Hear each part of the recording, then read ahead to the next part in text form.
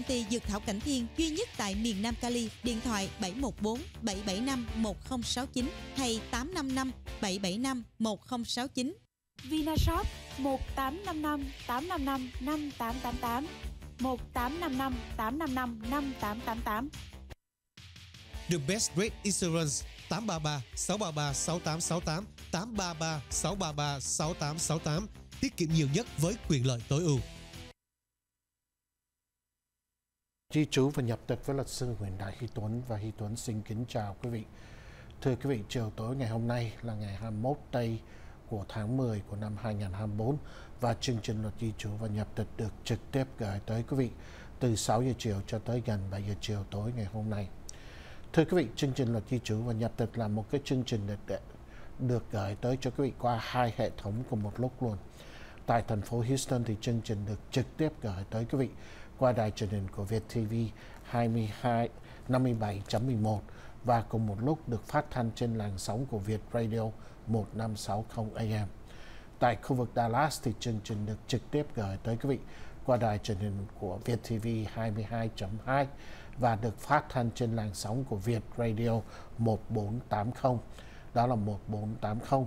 Chương trình được chiếu lại trên Việt TV on DirecTV 2036 và cùng lúc được xuất hiện trên Việt TV Online và Việt TV Facebook và những cái app giống như Uno IPTV. Cho dù là TV, online hoặc là radio, số điện thoại cho quý vị gọi vào cho chương trình chiều tối nay là số toll free 844 858 7000. Đó là 844 858 7000. Hoặc là quý vị muốn thì quý vị có thể email cho Tuấn. Địa chỉ email của Tuấn là di chú a luật sư tuấn.com đó là di trú a luật sư tuấn.com À, trong chương trình chiều tối nay thì Tuấn có vài mấy cái thông tin của cơ quan của Sở Di trú và Nhập tịch và trong chương trình mình sẽ sử dụng cái visa bulletin của tháng 11 của năm 2024 và Tuấn còn một số câu hỏi rất là nhiều mà quý vị đã email cho Tuấn. Tuấn hy vọng Tuấn có cơ hội để trình bày cho quý vị trong chương trình chiều tối nay. À, trước nhất là Tuấn xin cáo lỗi tuần vừa qua. Tuần vừa qua đáng lẽ mình có cái chương trình trực tiếp nhưng mà tại vì công chuyện trong gia đình cho nên Tuấn không có thể xuất hiện được. Cho nên tuần vừa rồi nó là một cái chương trình chiếu lại của tuần trước. Và chúng ta trở lại với chương trình trực tiếp chiều tối ngày hôm nay. À, trước nhất là cách đây khoảng hai ba tuần thì à, Tuấn có thấy trong cái website của Sở Di trú. Và quý vị muốn thì quý vị có thể coi cái thông tin của Sở Di trú nó cập nhật hàng ngày cho quý vị.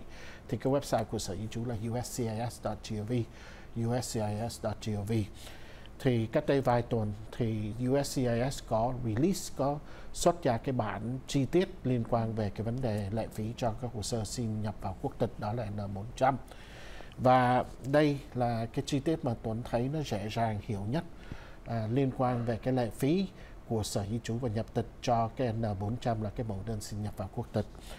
À, cách đây khoảng 6 tháng hơn thì cơ quan Sở Di trú và Nhập tịch đã thay đổi tất cả những cái lệ phí à, liên quan tới cái dịch vụ cho cơ quan của Sở Di trú và Nhập tịch rồi thì cái lệ thay đổi lệ phí đó là rơi vào ngày 1 đầy tháng 4 của năm 2024.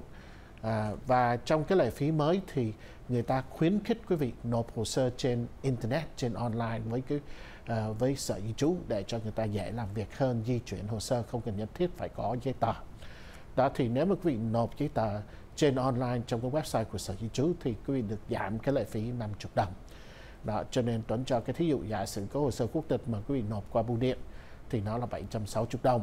Nhưng mà nếu mà quý vị nộp trực tiếp trên online trong cái website của sở di trú thì nó bớt 50 đồng là 710 đồng. Nhưng mà trong cái thay đổi của cái lệ phí của sở di trú vừa qua thì nó có một cái mới cho cái hồ sơ N400 cái mới là cái vấn đề này. Trước đây, một là đóng cái lệ phí, hai là xin miễn cái lệ phí. Đó thì cái miễn cái lệ phí nó vẫn còn nha. Cho nên nếu mà cái thu nhập của quý vị dưới 150% của cái mức nghèo mà à, của Bộ Y tế đưa ra hàng năm thì quý vị có thể xin miễn cái lệ phí với Sở y trú với phương cách điền cái mẫu đơn Y912 nhưng mà ngày mùng 1 tây tháng 4 thì người ta đưa ra một cái hình thức mới là nếu mà cái thu nhập quý vị à, dưới 400% của cái phe à, của cái à, à, cái mức nghèo mà Bộ Y tế đưa ra và trên 150% đó thì thường thường là quý vị không được giảm nhưng mà trong cái tình trạng đó thì quý vị có thể xin giảm cái tiền của sở di trú thành nữa nghĩa là từ 760 đồng trở thành 380 đồng. Đó trong cái màn truyền hình quý vị thì Tuấn có cho quý vị một cái thí dụ. Giả sử đi trước ngày mùng 1 tây tháng 4 à, cái thu nhập trong gia đình quý vị có hai người giả sử cái thu nhập quý vị là 50 ngàn đi thì quý vị không được miễn cái tiền của sở di trú nhưng mà căn cứ vào cái lệ phí thay đổi mới nhất là ngày 1 tháng 4 mà nếu mà cái thu nhập của vợ chồng của quý vị trong gia đình quý vị chỉ có hai người thôi là 50 ngàn thì quý vị vẫn không được miễn cái tiền của sở di trú. Nhưng mà nó vẫn dưới 400% của cái mức nghèo là 81.760 đồng thì quý vị có thể xin giảm cái lệ phí từ 760 đồng xuống 380 đồng.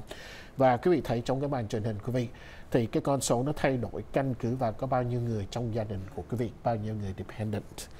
Thì à, đây là lần đầu tiên, lần đầu tiên mình thấy cái à, cái cái structure của cái vấn đề uh, dịch vụ cái tiền dịch vụ cho cơ quan của sở di trú và nhập tịch là người ta khuyến khích quý vị là không phải là nộp hồ sơ trên online không mà khuyến khích quý vị vào nước à, công dân nước Hoa Kỳ nữa. Và trong cái tình trạng nếu mà quý vị rất là thiếu thốn hoặc là dưới cái thu nhập quý vị thiếu thốn hoặc là dưới cái mức nghèo 150% thì quý vị có thể miễn cái tiền của sở di trú 760 đồng luôn. À, khi quý vị nộp hồ sơ quốc tịch thì quý vị có thể kèm theo cái Y912 và những cái chứng từ là quý vị đang lãnh tiền trợ cấp cái sự à, mức độ đau khổ khó khăn của quý vị hoặc là uh, cái tình trạng uh, nó có ba cái là thu uh, đang lãnh tiền trợ cấp cái trình độ đau khổ khó khăn cao cấp về bất cứ cái tình trạng trong gia đình của quý vị. Và à, nếu mà cái thu nhập quý vị có thể chứng minh được dưới 150% thì quý vị có thể miễn cái tiền đó luôn. Đó là cái phương cách là Y912 nhưng mà căn cứ vào cái lệ phí mới nhất nếu mà income quý vị trên cái con số là 150% không được miễn nhưng mà nếu nó vẫn dưới con số 400% của cái mức nghèo thì quý vị có thể xin giảm là bẻ là xuống còn 380 đồng. Thì quý vị cần trình bày với cái hồ sơ N400 quý vị và kèm theo cái lệ phí 380 đô. Đó là 380 đô. Cho nên đó là cái lần đầu tiên giống như tôi nói là mình thấy là sở di trú người ta đưa cái cái cái cái cái cái tiền bạc mà đóng cho người ta có ba tình trạng đóng hết à, đóng hết trên mạng nó khác với đóng hết qua bưu điện rồi miễn cái lệ phí nếu mà mình trong cái tình trạng rất là dưới cái mức nghèo. Và giảm nếu mình trên cái mức đó nhưng mà vẫn dưới cái mức được thì mình được có quyền giảm. Cho nên nó thay đổi rất là nhiều. Và một cái thông tin mà Tuấn muốn gửi tới cho quý vị à, khi quý vị điền đơn thì à, nhiều khi quý vị không có chú ý vào cái cái cái cái đơn nó có giá trị từ ngày nào. Đó.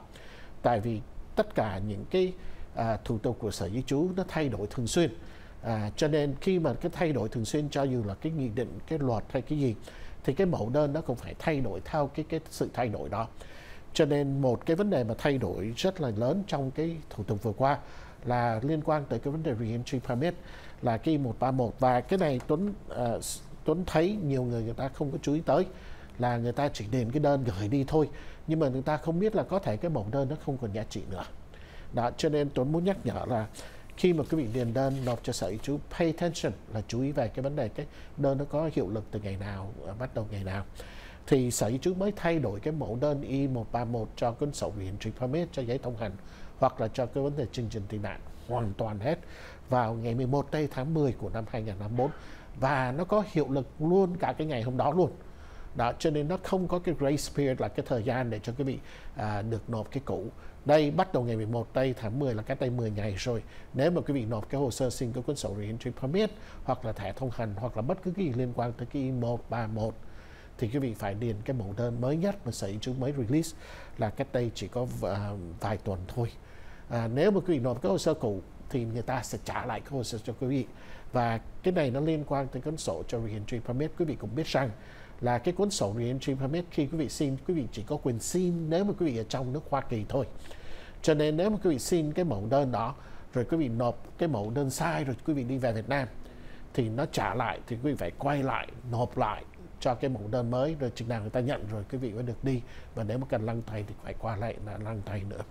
Cho nên nhiều khi mà không có chú ý về cái cái cái hiệu lực của cái mẫu đơn nó có hiệu lực từ ngày nào, thì nhiều khi sẽ bị cái sở hữu chú nó trả lại hồ sơ thì mình phải bất tiện quay lại đây nộp lại để chờ sở hữu chú nhận, rồi sau đó mới được đi. Cho nên đó là vài cái thông tin cho chương trình chiều tối nay. Nhớ chúng ta có cái visa bulletin tháng 11 của năm 2024 bây giờ cho Tuấn xin mời quý gọi vào cho chương trình chiều tối nay. Số toll free 844 858 7000 đó là 844 858 7000 và nếu quý vị không có cơ hội trực tiếp theo dõi chương trình hoặc là không có thể gọi vào cho chương trình email cho Tuấn địa chỉ email của Tuấn là di chú a luật sư tuấn.com đó là di chú a luật sư tuấn.com bây giờ mở đường dây đầu tiên cho Tuấn xin mời thành phố Houston đó chú Thuận mời chú Thuận lên tiếng điện Dạ, xin chào luật sư ạ. Dạ, em tên Thuận ở Houston. À, em muốn hỏi về luật sư về trường hợp của của của anh của anh chị em. Dạ vâng. Anh chị em đã đi phỏng vấn, à, đã đi phỏng vấn và tuần tới sẽ có visa. À, nhưng mà cái hạn khám sức khỏe của ông anh là đến 24 tháng 11.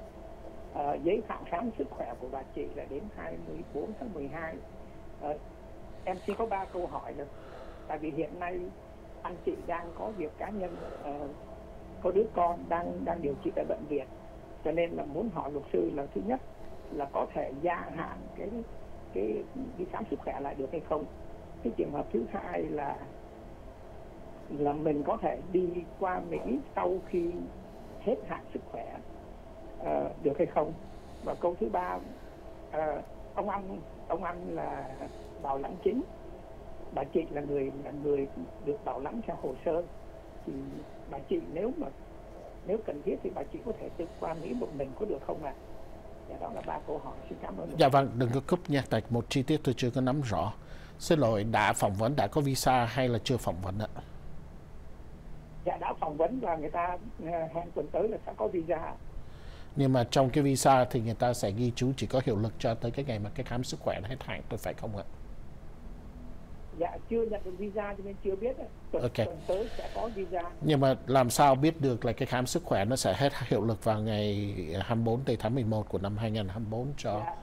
người người chồng và tháng 12 của năm 2024 cho người vợ dạ tại vì hai vợ chồng đều đi khám sức khỏe vào ngày 24 tháng 6 à, một người ờ, thử đàm cho nên là hiệu lực chỉ có 5 tháng và một người bình thường thì hiệu lực okay. 6 tháng ạ ok được rồi Ok, thôi cúp điện thoại đi rồi à, để cho Tuấn dễ nói chuyện.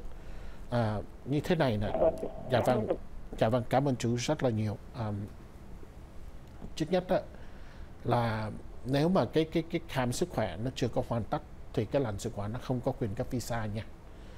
Cho nên cái kết quả khám sức khỏe nó phải có hiệu lực và nó phải có giá trị trước khi cái làm sức khỏe nó cấp visa. Nếu mà trong cái tình trạng mà cái khám sức khỏe nó bị trở ngại tại thử đàm hay cái gì, thì người ta không có cấp visa. Cho nên đây, ông assume ông assume là người ta sẽ cấp visa trong tuần tới, ok? Cho Tuấn nhấn mạnh lại là thường thường nếu mà cái cái cái cái cái cách làm việc của cái lần sự quán Hoa Kỳ ở Sài Gòn là như thế này. Là trước khi phỏng vấn người ta muốn mình hoàn tất hết tất cả giấy tờ. Giấy tờ đầy đủ hết khám sức khỏe đầy đủ hết. Rồi người ta với phỏng vấn phỏng vấn nếu mà tốt đẹp người ta đưa cái cái visa có hiệu lực lên. Ở đây thì à, tôi không có nắm rõ nhưng mà tôi cảm thấy là đây là cả hai có hồ sơ phải khám sức khỏe hoặc là phải xác định cái khám sức khỏe. Cho nên người ta chưa có cấp visa được. Nhưng mà again cái cái cái visa nó chỉ có quyền cấp nếu mà cái khám sức khỏe nó clear với à, với à, ban bác sĩ ở chợ sảy hoặc là IOM rồi cái lãnh sự quán nó mới chỉ cấp visa. Rồi nếu mà cái khám sức khỏe nó sẽ có ờ, hết hiệu lực một thời gian nào thì cái visa nó sẽ hết hiệu lực trước cái thời điểm đó. Đó. À, cái đó là một. Cho nên khi mà thấy thấy thấy visa thì thường thường cái visa nếu bình thường nó có hiệu lực 6 tháng cho nên nhận được visa thì mình sẽ biết là cái cái cái cái cái hiệu lực của cái visa là bao nhiêu ngày. Đó, cái đó là đầu tiên. Cái thứ nhì, cái người đi phục cái người ăn theo, đây là người vợ ăn theo người chồng bên hồ sơ anh em, bên chồng. Không được đi trước người chồng. Một là đi cùng lúc, hai là đi sau người chồng. Đó. Cho nên trong cái tình trạng mà nếu mà còn cái vấn đề cá nhân ở bên Việt Nam thì bắt buộc người chồng phải đi trước rồi sau đó về rồi sau đó người vợ mới đi rồi lúc đó mới về. Đó. À, nhớ là chỉ cần ở đây một hai ngày thôi rồi trở về thôi.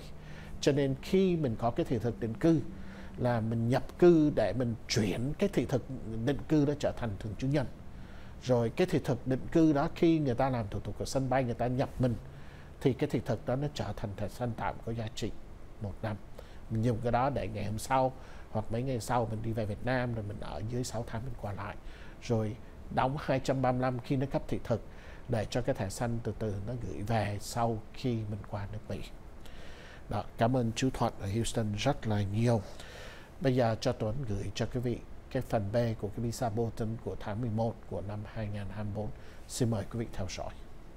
Kính thưa quý vị, đây là lịch visa bulletin của tháng 11 năm 2024, bản B, đây for Filing, dành cho những hồ sơ đã nhận được đơn chấp thuận từ Sở Di trú, đã chuyển tới Trung tâm Visa và hiện đang chờ Trung tâm Visa cho phép đơn bảo trợ tài chánh.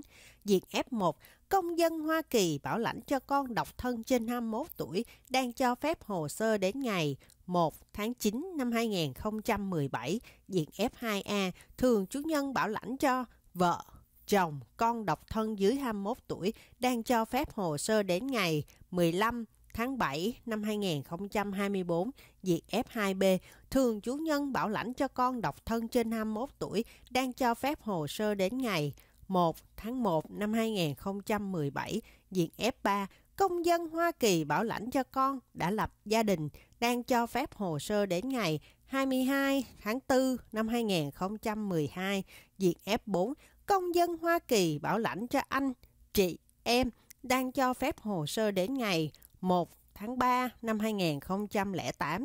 Kính thưa quý vị, đây là lịch visa bulletin của tháng 11 năm 2024. Và thưa quý vị, căn cứ vào cái sự thay đổi của cái tháng 11 của cho cái visa Bolton thì nó chỉ có một cái thay đổi trong cái phần B thôi. Là phần B là những cái ngày để cho trung tâm visa nó chuẩn bị hồ sơ để cho phỏng vấn ở Sài Gòn. Còn phần A là cái ngày đáo hạn để phỏng vấn ở Sài Gòn. Hoặc là nếu quý vị ở trong nước Mỹ và sở chú cho phép thì quý vị sử dụng cái phần B để nộp hồ sơ xin thẻ xanh ở đây. Thì nó chỉ có một cái sự thay đổi thôi là cái ưu tiên F3 ưu tiên F3 thì tháng 10 thì nó cho chuẩn bị những cái hồ sơ trước tháng 7 của năm 2000, 2011 nhưng mà ưu tiên cho tháng 11 thì nó lên cho tới tháng 4 của năm 2022 lận. Uh, cho 2012 lực uh, tháng 4 của năm 2012 lực Cho nên nó lên ít nhất là cũng khoảng gần tới 9 tháng lực 9 tháng lực Cho nên rất tốt là cái ưu tiên F3 nó di chuyển cái hồ sơ. Nhưng mà còn những cái ưu tiên khác thì đương nhiên như vậy hết nó không có cái sự thay đổi gì cho cái ngày chuẩn bị cho căn cứ và visa bộ tân của tháng 10 qua tới tháng 11 của năm 2024. À, số điện thoại để gọi vào chương trình chiều tối nay vẫn là số thu phí 844 858 7000 đó là 844 858 7000 à, email cho Tuấn địa chỉ email của Tuấn là di chú a luật sư tuấn.com đó là di chú a luật sư tuấn.com bây giờ mời cô Ti Lê giúp cho Tuấn đọc một số email mà quý vị đã email cho Tuấn mời cô Ti Lê. Mother, 82 tuổi still alive, sponsor job for her daughter and her husband and two children. They now living in Vietnam. Daughter is 85 years old. I mean 58 years old. Husband is 72 years old. One girl is 20 years old and the son was born on April 17, 2000. Still single. Submit date April 29, 2011. Approved date January 14, 2015. On September 21st, 2024, we got an email from MVC about introduction to document collection.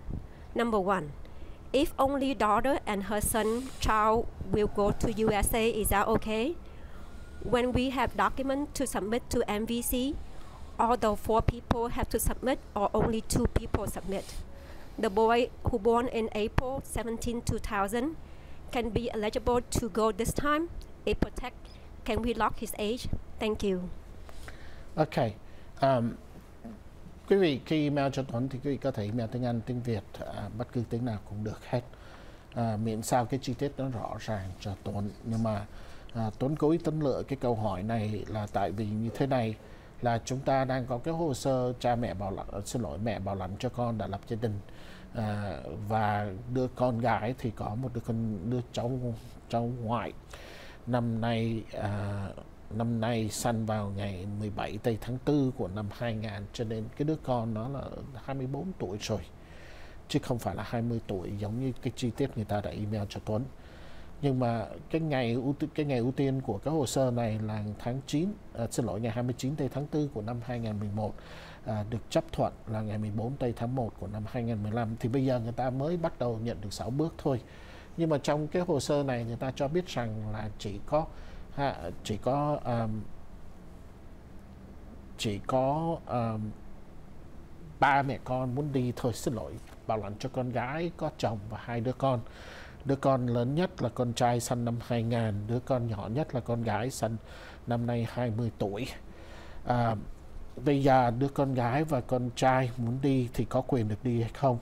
À, chỉ có hai người muốn đi thôi à, và đứa con trai mà muốn đi đó thì cháu nó sinh năm 2000 thì được đi hay không à, khi mình thấy cái chi tiết này thì mình thấy là người ta thiếu cái sự cố vấn của cái hồ sơ này. Trước nhất đó là cái ưu tiên 3 đó nó đi rất là chậm. Và nếu mà trong cái hoàn cảnh mà à, cái giữa vợ chồng người ta có cái mâu thuẫn hay cái gì mà ly dị thì nó sẽ lên ưu tiên một thì ưu tiên một thì hồ sơ này đã được phỏng vấn qua đây lâu rồi cho nên nếu mà được phỏng vấn qua đây lâu thì thường thường cả hai đứa con được ăn theo luôn. Nhưng mà trong cái tình trạng nếu mà người chồng người ta không muốn đi và con gái út không muốn đi thì cái đó là cái quyền của người ta. Người ta không nhất thiết phải đi. Cho nên trong cái hồ sơ khi làm 6 bước thì người ta cái người chính bắt buộc phải đi nha. Thì cái người con gái phải làm cái 6 bước. À, đứa đứa con trai mà sinh ngày 17 tây tháng 4 của năm 2000 mà nếu mà tiếp tục giữ cái hôn thú với ba cháu thì cái phần trăm cao nó không được ăn theo đâu tại vì cái hồ sơ này coi vậy à, nộp vào tháng 4 của năm 2011 chấp thuận vào tháng 1 của năm 2015 cho nên được cộng khoảng 3 năm 9 tháng cho nên đứa bé này được đi cho tới lúc 24 tuổi 9 tháng.